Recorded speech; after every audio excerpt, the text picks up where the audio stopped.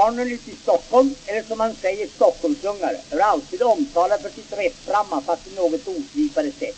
Men också mycket slagfärdiga, som det ju för övrigt tillhör ett storstadsbarn. Men i allmänhet blir det präktiga och mycket duktiga människor utav dem med tiden.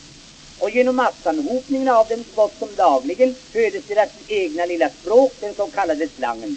Här följer några provbitar ur deras liv. En gosse fick följa med sin pappa upp på Skansen att se alla djur och det tyckte han var skojigt förstås.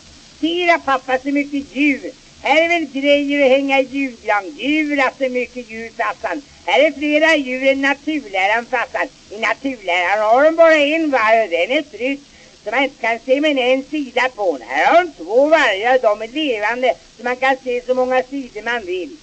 Efter en stund säger han. Det var inga vargar farsan. Den ena räven var en hund.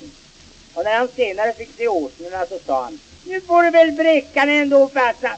Du har kallat mig för åsna så många gånger. Nu ser väl själv att inte jag inte ser ut sådär. Jag har inte såna där stövelskaft till kålroten och sen där åssleda i stussen. Pappa, gifter åsnorna också?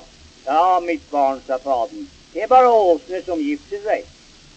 En flicka frågade sin mamma en gång. Mamma, en sån där ängel, mamma lilla, vad är det för något du vet, en sån där, en sån där, en sån där ängel?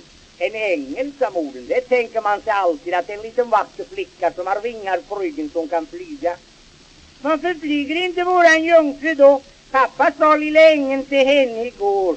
Vänta mitt barn, sa modern, imorgon flyger hon. Det stod en liten grabb på gatan och rökte cigarett. Då kom en löjtnant och fick se detta och så tänkte han, här ska dresseras. En snorhyvel står och röker cigaretter. Kast bort cigaretten säger jag dig, annars så ska jag ge den örfil så att hakan ramlar ner i maggropen på dig, förbaskade pojklimmel. Det behöver inte vara rädd förstår du, sa grabben. Det är inte någon krutrök inte, jädrans kolla. En grabb kom tillbaka med en limpa och sa så här. Farbror bagaren, jag ser inte att från morsan ber få byta den här limpan som vi köpte igår. Morsan vill inte ha den här gamla limpen hon kan få färska för samma pris. Vi ska byta säger jag. Hälsa du din morsa och säg det att jag bakade limpor innan du var född.